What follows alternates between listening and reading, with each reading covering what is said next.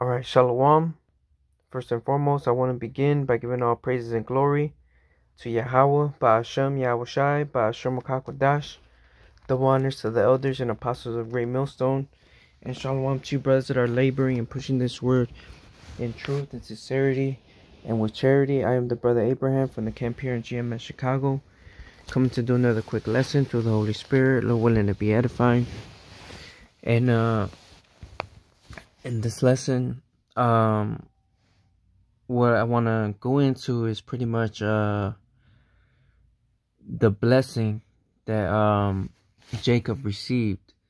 Okay, um, going back to the story of Jacob and Esau, uh, last camp, the last camp that we had last Saturday, there was uh a Northern Kingdom guy that came up to speak with us, and he had uh he had good questions. He had uh, sincere questions. Um, and one of his questions was about um Jacob and Esau, and uh he felt that Jacob received the blessing through fraud okay, through deceit, through wrongdoing. But I mean, it clearly tells you that um, the blessing was always meant to go to to Jacob. Okay, and um, I came across this on Quora. Quora I think uh, this is a place where people ask questions and people respond with answers and stuff like this. Um,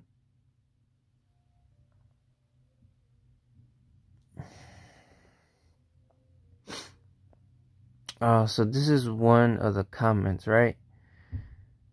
It says Esau easily gave up the birthright because he had no idea of its spiritual value. The scripture blames Esau, not Jacob, who valued the position of the firstborn because of its spiritual and temporal blessings. When Esau was banned from receiving the heavenly blessing given by Isaac to Jacob, he falsely accused Jacob of stealing it from him. Often overlooked in this story is the part played by Rebecca. She knows better than anyone it is God's will that Esau will serve Jacob because God told her when she asked him in prayer. She played the role in this spiritual play, demonstrating how salvation is experienced. She plays the Holy Spirit urging Jacob playing a sinner to make haste to present sacrifice for God, played by played by Isaac, and uh, I I kind of see the um direction they're going or the aspect they're trying to use with that. It says blood has been shed to use the skin of goat to cover Jacob, just as the blood of Yahweh covers believers before God who, like Isaac, is blind to who is being blessed. And yeah, I see where they're coming from with that angle. Um, yeah, continues on to say, uh, Jacob, clothed in the elder son's robe, dares to stand in the place of another to be blessed by a father who has the authority to bless or curse. He is blessed and promised God will be with him before he ever does anything of significance for God. Um, and then this comment says, There could be no doubt that Jacob was entitled to the blessing. Before the birth of the twins, Yahweh had said to Rebekah, The older will serve the younger. Later, in harmony with the inclination that Yahweh has already foreseen and that had caused him to love Jacob more than, the, than he did Esau, Esau who sold his birthright to Jacob for just a bowl of stew. Alright, um so and also keep in mind that the Most High didn't ever come right after that, um, and be like, "Hey, Jacob, that was wrong. You shouldn't have did that." You know, like the Most High never condemned Jacob for what he did because it was already uh, predestined to happen. The the blessing was already the blessing, the covenant, the promises. It was all what um when the Most High had appeared unto Abraham at first, right, and promised him uh, that he will be the father of many nations, that kings and priests shall come, a nation of kings and priests shall come out of thy loins, and uh, you know, he even told Abraham that in uh, Isaac shall thy seed be called. Isaac had what? Jacob and Esau. So out of these two sons, one of them will receive the blessing. And yet Esau came out first. But this is just the way the Most High had it set it up. Okay? Uh, this is Genesis 25. And, um, 22 and the children struggled with struggled together within her. And she said, If it be so, why am I thus? And again she went to inquire of the Lord, right? Because they were pretty much fighting each other in there. And the Lord said unto her, Two nations are in thy womb, and two manner of people shall be separated from thy bowels, and the one people shall be stronger than the other people, and the elder shall serve the younger. Right? So two nations are in uh, Rebecca's womb. Two different people. One of them is going to be stronger than the other, as we can clearly see the difference. And the elder shall serve the younger. Esau came out first, then Jacob. And it was uh that was symbolic in itself. Uh we could read that in second Esdras 6 and 9. Lord willing, we'll get it. It says, And when her days to be delivered were fulfilled, behold, there were twins in her womb. And the first came out red all over like an hairy garment, and they call his name Esau, right? Which means red. And they describe Esau's way because that was strange, you know. Um, they didn't depict the way Jacob came out because uh, he came out normally, right? Uh, Esau has no pigmentation. Uh, his skin is not white, but you know, transparent, in which you could see the blood.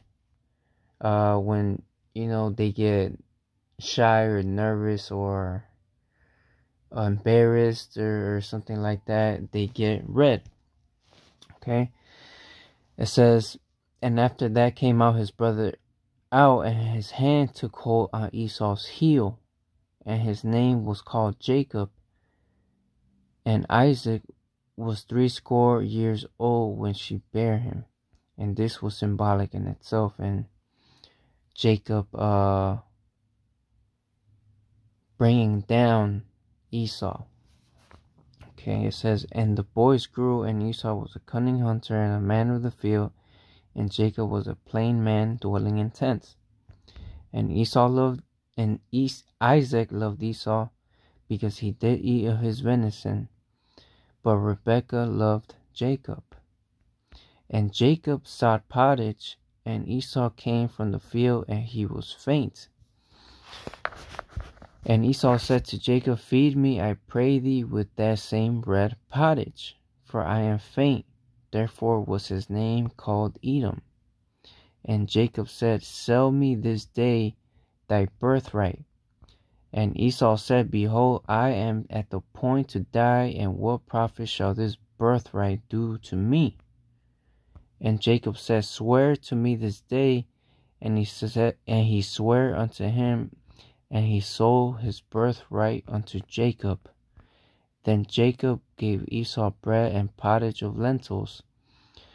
And he did eat and drink, and rose up and went his way.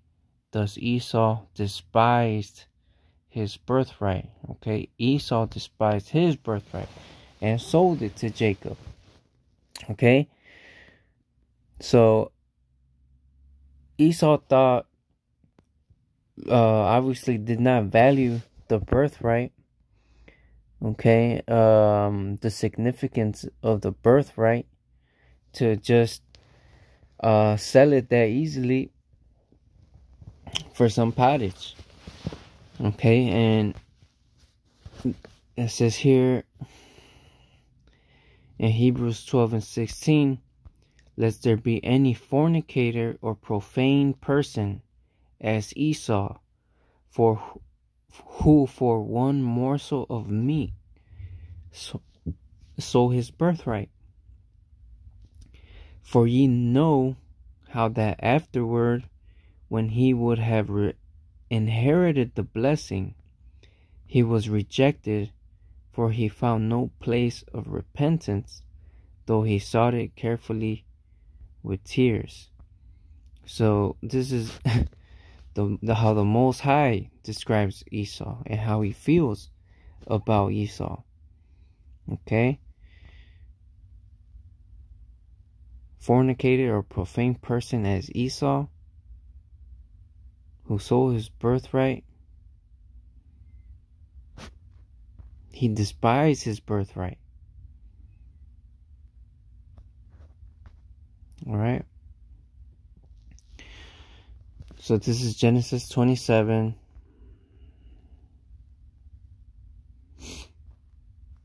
And um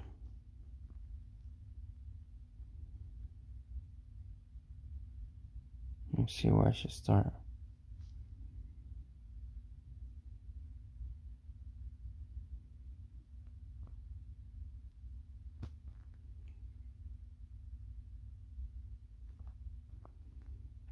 Genesis 27 and uh, 32. Kind of want to get to the points because it is long a little bit. It says, uh, And Isaac his father said unto him, Who art thou?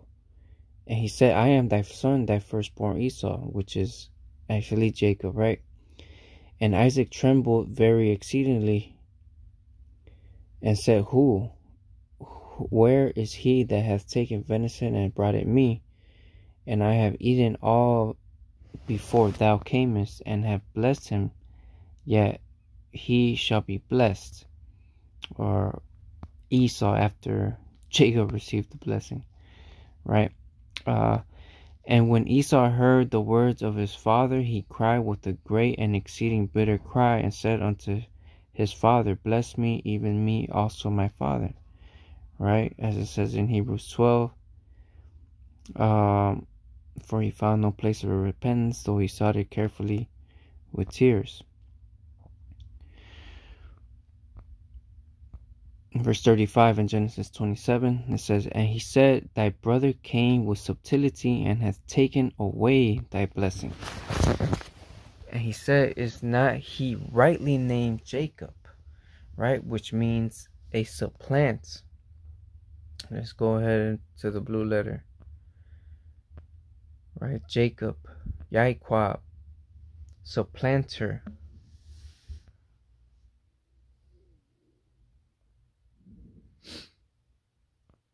Uh, says one who wrongfully or illegally seizes and holds the place of another. um, let's see.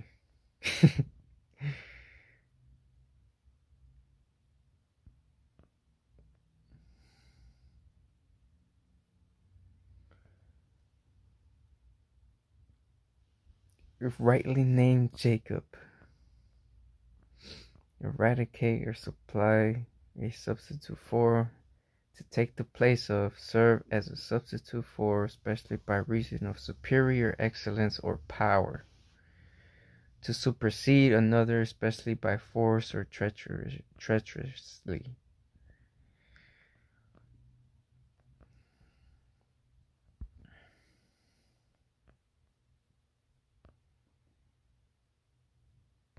All right, that's how pretty much Jacob is in general.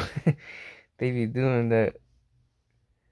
Um, but yeah, now going back to uh, verse 36, and he said, Is not he rightly named Jacob? For he has supplanted me these two times. He took away my birthright, and behold, now he hath taken away my blessing. And he said, Hast thou not reserved a blessing for me? All right, and and yeah, he did bless uh Esau. He blessed him uh with the dwelling. Thy dwelling shall be the fatness of the earth, and the dew of heaven from above, and that he shall live by the sword. Okay. Which uh the sword, you know, goes into many things as far as destruction, weapons, you know, uh, Cain. Uh, it, the word Cain means spear, which is a weapon. Esau's blessing was a sword, which is a weapon. Right? And who in the earth today, you know, has all these military bases around the world, you know, uh, is involved in every damn war, destroying everything and anything, going into all these countries, and try to overthrow them and set up a corrupt government and their monetary systems. All right, who is this that transgresses by wine? Right? Neither keepeth at home. Right? Who is that? Who who is this people that uh the Bible describes as uh one that uh steals, kills, and destroys? right? To take peace from the earth. Who, what people have done that? It's, it's a, it ain't rocket science, man. Okay, so this was already meant to happen, and then you know you didn't see the Most High come in, like, hey, you know this wasn't supposed to happen, you know. Like Jacob, you shouldn't have did that. You know, if something were, were wrong like that, don't you think the Most High will intervene and set things straight? But no, because it, it was already meant for that to happen.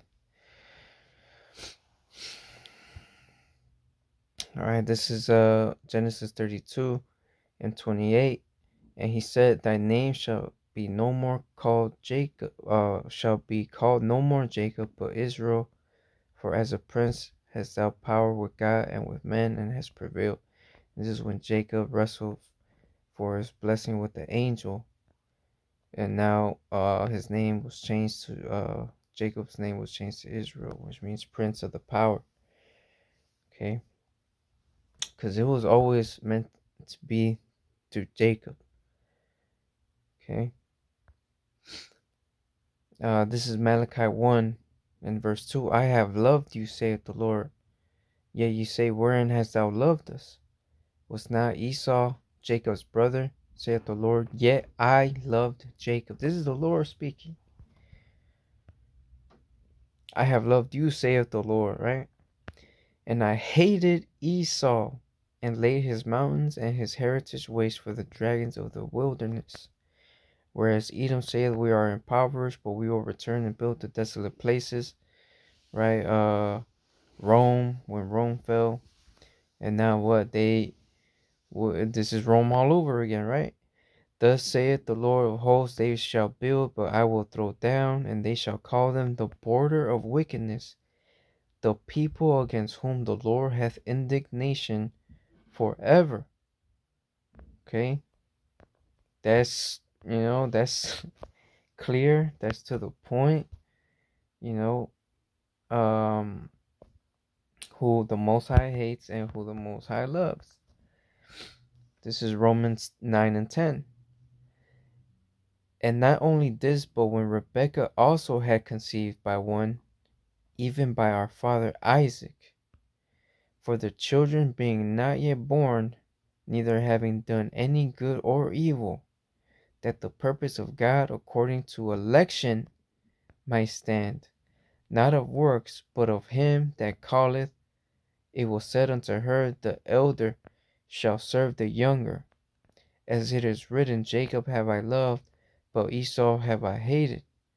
What shall we say then? Is there unrighteousness with God? God forbid. Okay, so Esau and Jacob, before they were born, the purpose of God was already set in place. All right. The elder shall serve the younger. As it is written, Jacob have I loved, but Esau have I hated. Hated. Is there unrighteousness with the Most High? No. All right, let me get this precept here and uh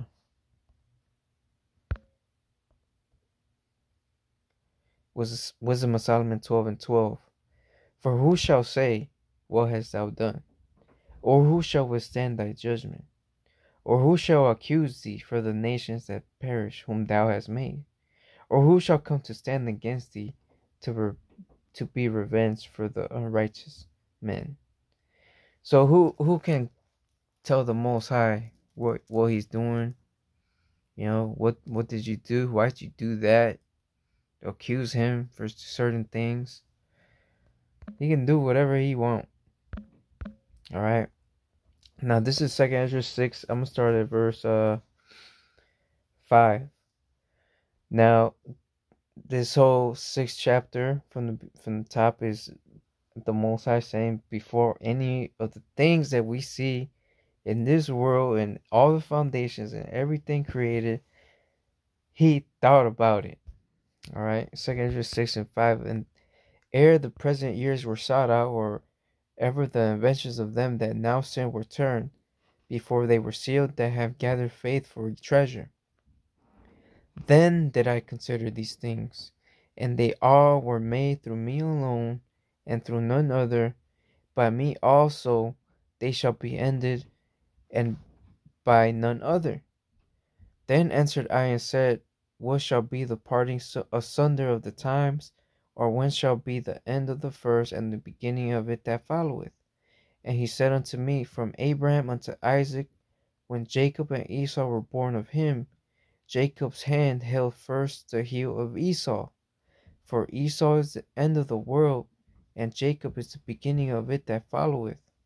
So if the Most High considered these things before they were created, right? The the predestination was already there. All right, the election of God was already um decided. It was already set in place from the beginning. From Jacob's hand uh holding Esau's heel.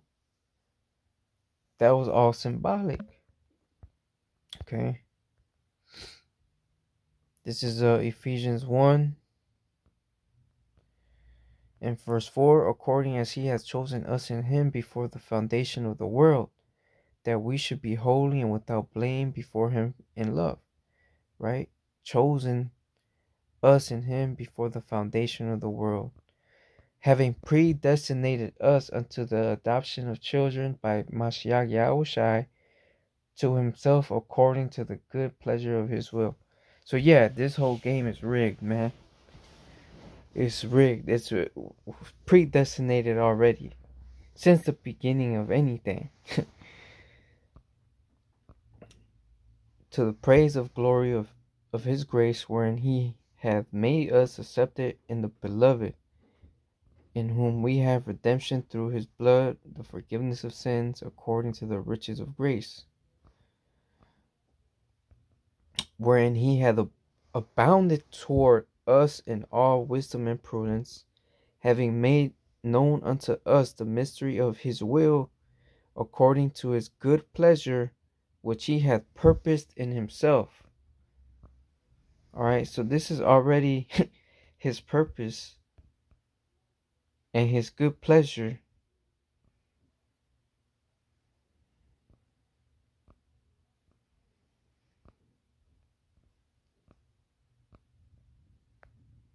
All right. Uh, and then